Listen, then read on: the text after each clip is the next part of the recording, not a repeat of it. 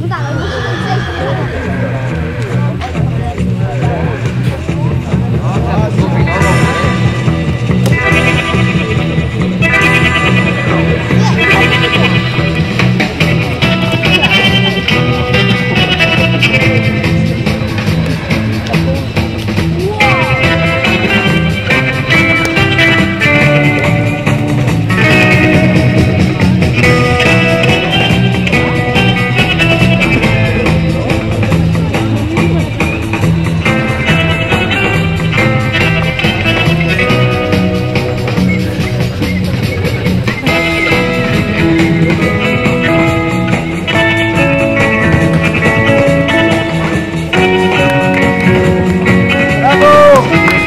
0 punktów karnych z przebiegu w czasie 70.02, czyli w normie.